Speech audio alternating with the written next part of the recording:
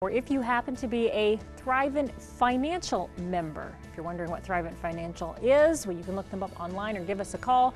But if you are a member, then this may be for you. Thrivent offers a program called Choice Dollars. Choice Dollars can be designated to the nonprofit organization of the Thrivent member's choice.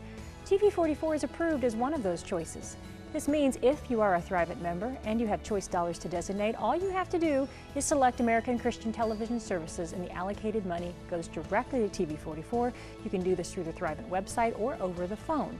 No money out of your pocket, but yet you are partnering with TV44 in such an important way. To find out more about the Thrivent Financial Choice Dollars program, you can call your Thrivent Financial representative or just give me a call at 419-339-4444 extension 162 or email me at jbeck at WTLW.com.